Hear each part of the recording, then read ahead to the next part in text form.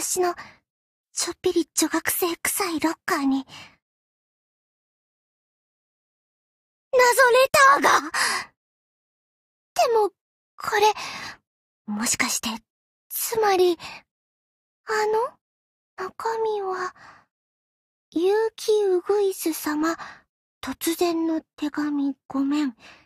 君にどうしても伝えたい気持ちがあります。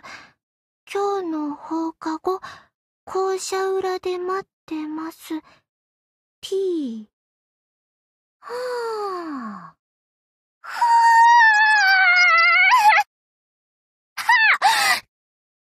ど、どうしよう。どうしよう、これ。うえ終わった 今日は腹減りすぎだ。食わないと死ぬ。はこっちマジチクリ僕も今日は帰便。なんだよ、珍しいな二人して。あ、いうか、いつもの友達は？ああ、うん。なんか用事。よし、給食の陣だ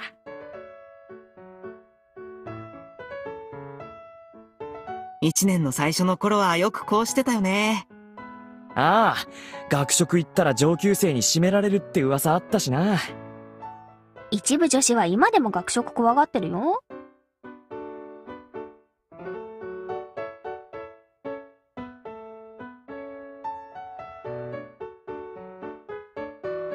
そっちこそ珍しいじゃん。弁当持参なんて。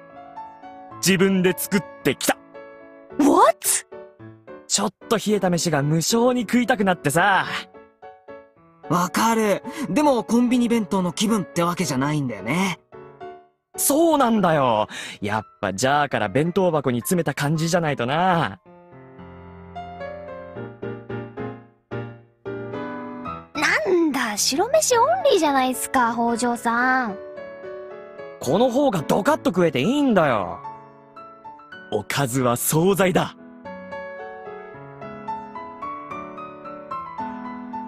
カレーコロッケと唐揚げ。神の取り合わせだ。くそ、うまそうだな。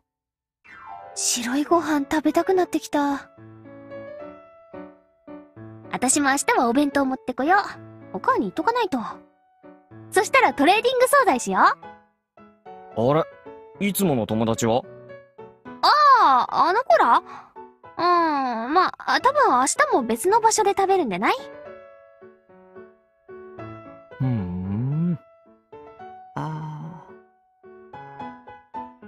よしなよそんな猫汁みたいな目で見るのは。よく猫汁知ってたね。何それ？昔のグロかわいい系の漫画。知らない。マニアックな作品だからね。優香がそんなものを知ってたのが驚きだ。お母の蔵書が漫画充実してるんだよ。で、お友達が別の場所で食べるのは明日だけなの？それは。それは？うまく説明できない感じ。なんだかうまく受け止めきれなくて。説明して。イデオロギーが、どうかした？なんで急に難しい言葉使おうとする？喧嘩でもしたのかな？いや、違うな。この感じは違う。喧嘩じゃない。ふひど、どうしてそう無駄に鋭いかな？喧嘩したらお前、もっと相手のこと愚痴るもん。その態度は明らかに変だな。喧嘩じゃない。けど、もう一緒にご飯を食べることはない。まさか、いじめ？いや、違うだろう。優香はいじめられるような玉じゃない。いや、友達いじめてるのかなって。そっちの可能性が高いよな。高くないわい無意識でいじめてるのかもしれんね。どういうこっちゃ？いや、お前無意識に人を傷つけるとこあるし。むやみに自分に自信がある人って、いるだけで周囲の人を傷つけ、かつ蝕むよね。ああ、才能という太陽は人を焼き殺すよな。君たち私のこと嫌いだったの？冗談だよ。でも他に友達と疎遠になる理由ってあるか？疎遠になってないっつうの。わかった。それまで普通に遊んでたけど、ある時突然あくびをした時の間延びした顔が生理的に許せなくなって、100年の友情も冷めた？逆にキモいよ、そんな冷め方する人。理不尽なんてもんじゃないな。何それ？実は？この程度のことは三次元じゃ日常茶飯事だね。そりゃお前が女性不信なだけなんじゃないのか？く、今日からはこっちに合流させてもらうから、またよろしく。ゲーム部もあるしね。ってそうだよ。そのためだよゲーム部のためにこっちに合流するの。どう関心者でしょ言い訳を後付けするプロセスを見事に口に出してたね。わかった。文太さん、何が分かったんですか？いや、わかっちゃったんだよ。優香がこっちに出戻った理由。だから理由は、ゲームのためだって。お前の友達、あそこで彼氏と弁当食ってるぞ。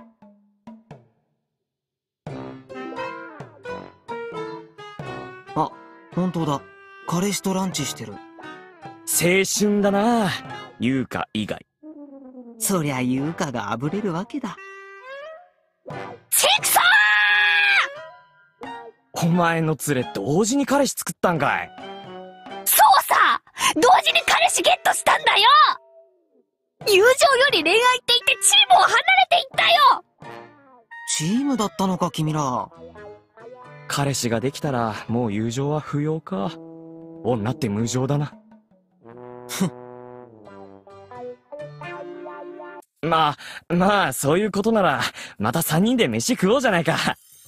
ありがてむーつるむ理由もできてタイミング良かったよね。そういう意味じゃ、黒田さんには感謝してるよそういや、勧誘の件はどうなったの？ん？進行中だぞ。放課後話をする予定だから、みんな付き合ってくれな。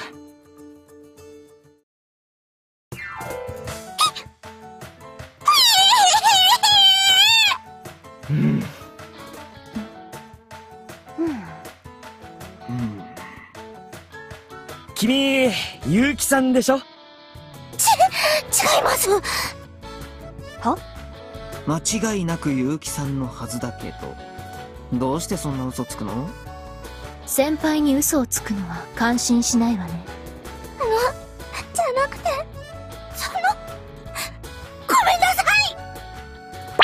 あ逃げた。想像以上にチキンだったみたいだな。私たちが彼女に恐怖を与えたということ？その通り。どこが？私たちはドキュンじゃないのに黒田さんって呼吸するみたいにネット語使うよね。ドキュンって何 ?GHQ? なんでそんな風に間違えることができる？ドキュンってのは不良のことだよ。心外ねどう見ても不良ではないでしょう私たちはそうなんだけどね。あの子にはそう感じられたのかも。パンピーからするとヤンキーこそドキュンなんだけど、パンピーに対してさえ気遅れするおとなしい人もいるしね。上級生に4人で囲まれたら、内気な一年女子からしたら、そりゃね彼女からすると私たちがパンピーに見えたということねいや、黒田さんはもっと怖い人の枠だよ。怖い人なんていないのにね。そういうとこ空気読めないよね、あなたたち。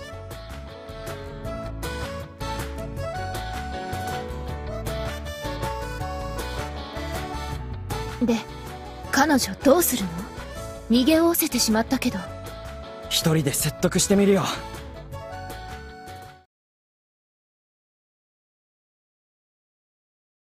あ、ねえ、ゆきさん。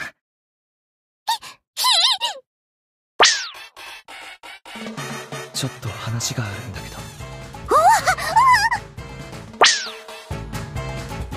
あのさ、そう怖がらないで話だけでも。ご、ごめんなさい手強すぎる。怖いか。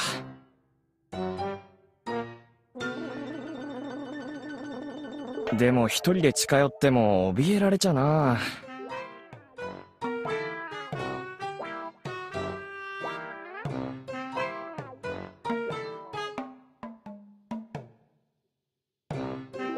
嘘じゃあ北条って三股かけようとしてるってこと？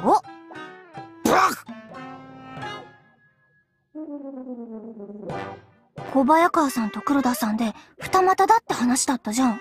で、最近一年女子にも声かけまくってんだって。おいおいおい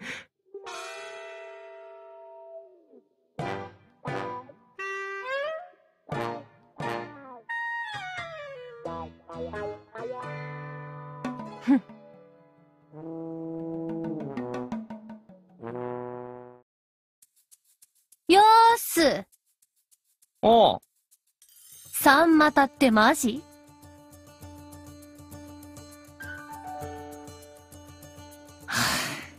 聞こえてるっつうの。三股どころか一股もかけてねえよ。あれも意外。どうせ嘘だろうけど。嘘じゃねえどうせ黒田さんと小早川と一年の誰それみたいな話なんだろ自覚あるじゃん。その三人の誰とも付き合ってないって。え、マジ？私の見立てだと、優香とはやることやってると思ってたのに。そういやお前、優香と仲いいんだっけ？友達友達。そういや、優香ってたまにアッキーナと話してるけど、親しいの？知り合いだけど？え、友達じゃないの？知人。あれ、そうなの？だって話すと笑い合ったりしてるのに、知人。三次元人は怖いなとりあえず、あのことは黙っていてくれてるみたいね。そういう約束だろ。ありがたい。それに今、他にやることいっぱいでさ。やることって？ゲーム作り。マジ？王女ってそういう人だったわけ？そういう人でもなかったんだけど、いろいろあって。ふーん。ふーん、ふーん。何？そのギラギラした目。ゲームにもいろいろあるけど、どういうゲーム？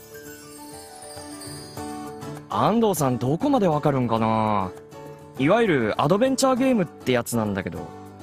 美少女ゲーム？およくわかったな男子の作りたがるゲームなんて大体想像つくからね。ふーん、美少女ゲームね。なんかの弾みでハマっちゃったんだ。そういうこと？美少女ゲームってもいろいろあるけど、ノベルっしょああ、スキルがあれば一人で作れるのがノベルだけど、北条にそんなスキルはないっしょ？どうすんの？とりあえず俺はシナリオ書けるから、というか、書かんとならん。他は？原画は今交渉中。声優は優香。スクリプターとかその他は仲間内で何とかする予定。原画誰？ホケキヨって人なんだけど、知らないだろ。ペクシーの？ボカロとか書いてる人？マ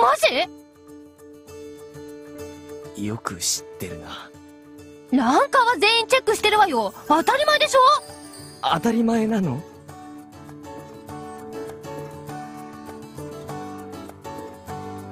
不女子だってオタクとしての一般常識はチェックしてるわよ。そうなんだ。ホケキヨ知ってたか。どうやって声かけたの？メール？いや、うちの一年だったから直接、マジで？これ秘密だっけ？